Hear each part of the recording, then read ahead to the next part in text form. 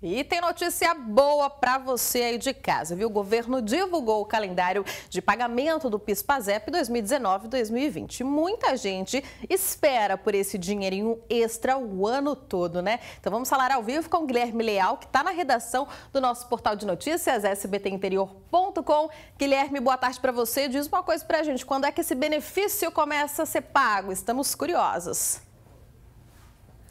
Oi, Jéssica, boa tarde para você, boa tarde para todo mundo. O pagamento começa a ser feito já no próximo dia, dia 25, agora em julho mesmo, viu? O pagamento do PIS é feito de acordo com o mês de nascimento. Já o pagamento do PASEP é feito de acordo com o último dígito do número de inscrição dos servidores públicos, né? Só no ano passado, o governo informou para gente que foram feitos mais de 17 bilhões de reais em pagamentos, né? O valor do benefício pode ser é de até 998 reais, que é o salário mínimo. É, quem faz aniversário entre julho e dezembro vai conseguir receber esse dinheiro até 2000, ainda em 2019, até dezembro desse ano. É um baita presente, né?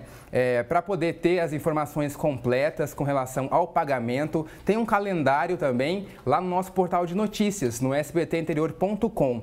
Tem uma tabela, na verdade, com todas as informações e os destaques. Por exemplo, é, tem direito a receber o PIS quem trabalhou pelo menos 30 dias com carteira assinada no ano passado. No nosso portal de notícias tem essas e outras informações com relação a isso, tem mais detalhes e tem também um link que leva direto para o site da Caixa, da Caixa Econômica Federal. E lá a pessoa consegue fazer o cálculo certinho para saber quanto que tem a receber desse benefício, viu, Jéssica?